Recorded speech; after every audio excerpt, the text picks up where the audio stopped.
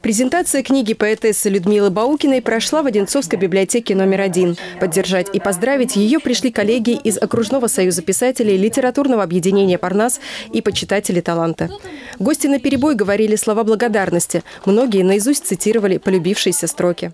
Она очень лиричный поэт, очень такой тонко чувствующий природу, человеческие чувства, настроения. И вот стихотворение называется «Под шум дождя». Под шум дождя так сладко спится. Тихонько смежу я ресницы, поговорю сама с собой. Людмила Дмитриевна прожила яркую, насыщенную жизнь. Были в ней и большая любовь, и горькие переживания. Все эмоции и чувства она переносила на бумагу. Часто строки приходили к ней во сне. Воспоминания из детства, родительский дом, любимый муж, семья, друзья – основа основ ее лирики. Об этом не задумывайся. Ведь что такое? Это, знаете, что-то взволнует человека. Человек выплескивается. Выплескивается. А куда? На бумагу. На бумагу выплескивает, понимаете? И радость, и горе свое. Вот ведь как это происходит.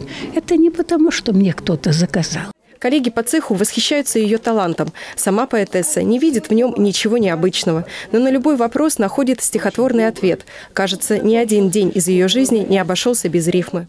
И вдруг любовь, глаза искристые, а ведь прошло так мало дней. К чему такие изменения? Первые пробы пера случились в раннем подростковом возрасте, вспоминает она. С тех пор произведение набралось на 5-6 изданий. Первое появилось благодаря мужу, второе в знак признательности издали ученики Людмилы Дмитриевны. Она с любовью отзывается о каждом.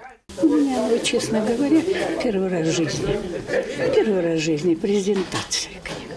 Как истинный творческий человек, она не гонится за славой и не ведет счет своим стихам. Вдыхая жизнь полной грудью, Людмила Баукина пишет от сердца и от того так легко проникает в души своих читателей. Елена Краева, Ферид Хайреддинов, телекомпания «Одинцова».